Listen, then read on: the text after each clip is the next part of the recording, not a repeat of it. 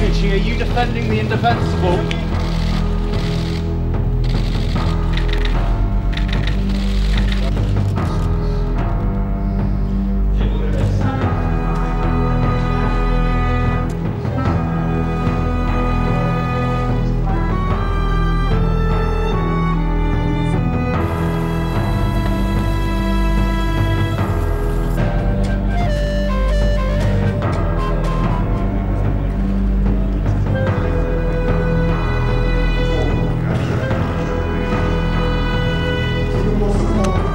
Why people say that been childish. I haven't been childish. I, I, I really